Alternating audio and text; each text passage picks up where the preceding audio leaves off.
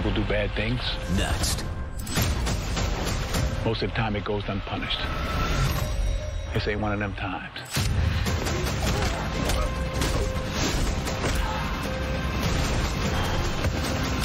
The Equalizer 2. Next. Followed by an all-new Snowfall on FX.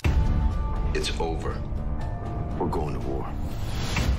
I've never been afraid to swing.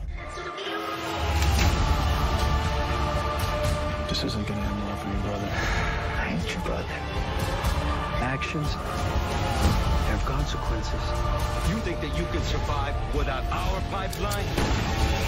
Let me see you try. Lions. Premieres Tuesday at 10 on FX. Next day FX on Hulu.